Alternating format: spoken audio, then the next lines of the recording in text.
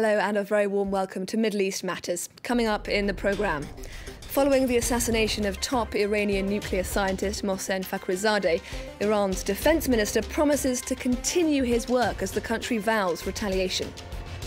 As Israel and the UAE settle into a new era of full diplomatic relations, we meet some of those embracing the deal, everyone from expat Israelis to Emirati entrepreneurs. And we'll also be heading to Egypt, where the country's historic Nubian minority is fighting to be allowed to return to their ancestral lands 60 years after their expulsion.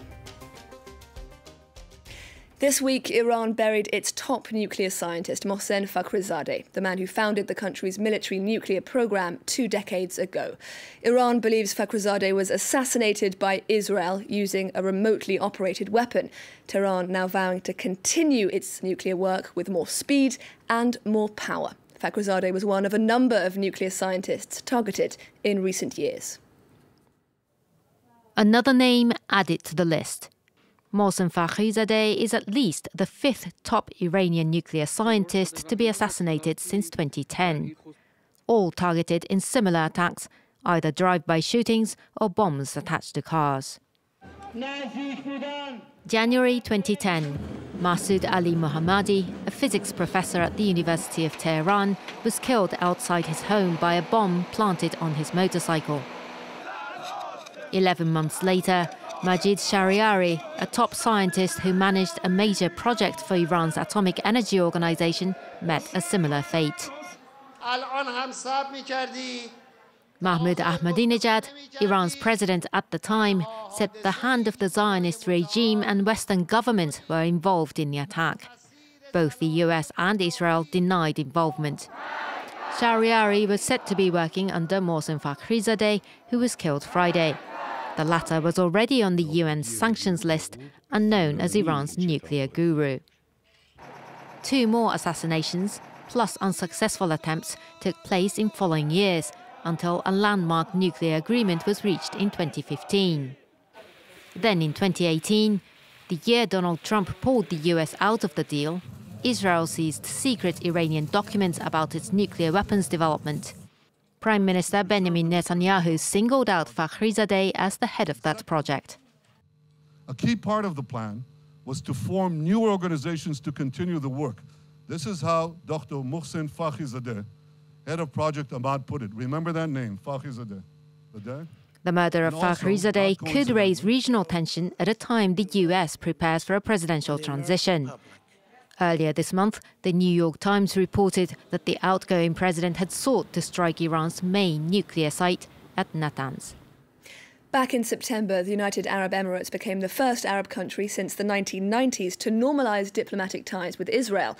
Now, not only do Jews already living in the UAE feel more able to practice their religion freely, but authorities in Abu Dhabi are also hoping the rapprochement with Israel could provide a lifeline to an economy that's been badly hit by the COVID 19 pandemic. Our team in Dubai sent us this. This video has been widely circulated on social media. A rabbi in Dubai sounding the shofar, this horn, for the Jewish New Year. An unimaginable sight before agreements between the Arab Emirates and Israel were signed on September the 15th. The Jewish community is now emerging from the shadows at the heart of the Muslim world. New prayer facilities have been springing up across Dubai, even if, for security, their addresses remain secret and the sites protected. Every morning, around 20 devotees come together with this rabbi, an American Orthodox Jew who arrived six years ago. Our Jewish community here in the UAE comprises of Jews from all over the world. We have Jews from France, Europe, Australia, America, New Zealand, and our community is really a mix. The ban on Israeli passport holders entering the country has now been lifted. For these European Jews already living in Dubai, the new rules allow them to practice their faith without having to hide. These agreements have changed everything. There are many more people, it's a lot more open, and we're less afraid to show ourselves. Now you can hear in the street people shouting, Shalom, hello, how are you? This reset of diplomatic relations with Israel was led by UAE strongman Mohammed bin Zayed, whose portrait stands at this place of worship. The Crown Prince has also launched an enormous construction site in the capital, a complex including a mosque, church, and a synagogue. Religious tolerance is a soft power gambit aimed at seducing the Western world and reviving the economy. Previously, the Emirates had made the Palestinian cause an axis of their foreign policy, but these shifts in diplomacy cannot be openly discussed. In this absolute monarchy, dissidents risk prison. This Emirati has recorded a music video celebrating the agreements titled I Want to Go to Tel Aviv.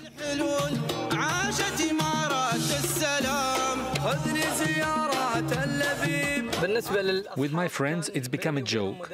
We ask each other, when are you going to Tel Aviv? And we laugh. In the United Arab Emirates, we always side with the decisions of the government. Here, we have made a move in the direction of peace. It's in the interests of the region, in the interests of the Emiratis and other people. And that will make us all stronger. With the arrival of the first Israeli tourists, the sector is adapting. Hotel Armani, at the foot of the world's tallest tower, has opened a kosher restaurant. A representative from the Jewish community comes every day to check that religious standards are being respected. He is the one who has to light the fires in the stoves or make sure that there's no trace of blood in the eggs. Kosher has become a highly sought after label in Dubai. Two years ago, Elli Kriel launched a home delivery service for Jewish customers. The restaurateur has recently received a huge number of requests from luxury hotels and has just hired seven more people. We are about to crumb them because I use them in my cooking, especially for schnitzels. It's very busy now. Of course, there are new players coming into the market. Everyone wants to be here. Any Jewish um, tourist wants to come to Dubai. For the New Year holiday season alone, Dubai is expecting 100,000 Israeli visitors. The Emirates hopes that the diplomatic reset will help to revive other sectors too real estate, health, security.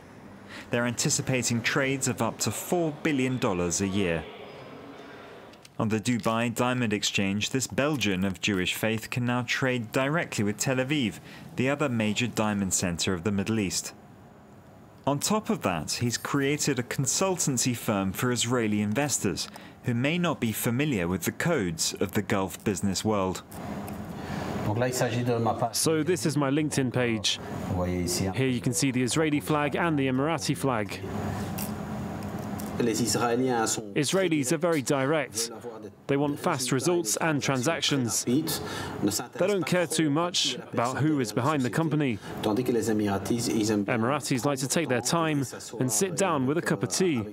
They like to know who they're dealing with and with who they're actually doing the transactions. His partner is so enthusiastic about this new market that he's learning Hebrew. This businessman from an influential Emirati family doesn't see the Israel peace agreement as betraying the Palestinians. First, this agreement actually stopped the annexation plan, and it's good for the Palestinian because you know, we saw many Israeli Arabs, which are the Palestinian, they are here now. They came, they're exploring businesses. It's good for them even. The Palestinian Authority has already rejected the agreement, while the Israelis have made clear that the annexation has only been postponed. Other than the Palestinians, the strong trend towards reconciliation with Israel's former enemies looks set to continue. While the Emirates and Israel have already promised to exchange ambassadors, Bahrain and Sudan have also normalized diplomatic relations with the Jewish state. Egypt's Nubian minority were forced from their ancestral lands in the central Nile Valley in the 1960s as General Nasser embarked on a major public works project. The experience left deep scars on a people who, to this day, continue to fight to be allowed to return to land they say is rightfully theirs. Claire Williot and Edouard Dropsy report. Colourful houses on the banks of the Nile, traditional handicrafts. Welcome to West Sohail. A few kilometres away from Aswan, tourists wander through a picture postcard setting. These young honeymooners seem thrilled. We already bought so many souvenirs that I don't have place in my backpack anymore. Yes. Nika and Kamal came to discover Nubia and the Nubians, an ancient people over 5,000 years old. In 1964, they were forced off their lands during the construction of the Aswan High Dam. Like the majority of young Egyptians, Kamal had been taught very little about the Nubian deportations. As far as I know that they are a minority and they are not treated very well by the Egyptian government. This is part of the of the things that I um, wouldn't agree with, but at the same time we needed this for the Egyptians. Relocated an hour's drive from the Nile of their birth, the Nubians were moved to cities with no infrastructure and no work. At the time, Taha was around 20 years old. We couldn't say no. Everyone left, and we had nothing with us. Nobody cared about us. To keep the memory of his people alive, Ramadan Majoub plays the kisir, a traditional Nubian instrument. He tells tourists of his paradise lost amidst the floodplains of the Nile. We're on our own. We should organize. We as Nubians. It's no good if others divide us. We share our customs and traditions. But the Egyptians have set themselves against us, and that's a problem. The power struggle between the Egyptian state and the Nubians has been going on for years. There have been protests and legal action. Bassam is one of a generation of young Nubians who've tried everything to reclaim their lands. But he stood by, powerless, as the government has done nothing. They promise us, yes, in uh, one day they're gonna like help Nubian people to come back in uh, in old Nubian, but it's not happening yet. Without the government, we cannot come back. For example, we need water there. We need electric there. We are not that people like uh, live in uh, in high class building. No, Nubian people they are love the nation, simple life. To protect his ancient heritage, Bassam has decided to keep up the fight, even if that could ultimately cost him dearly. Dozens of Nubian activists have been imprisoned for demanding to return to their ancestral lands. Well, that brings us to the end of this edition of Middle East Matters. Thank you very much for watching and see you again next week.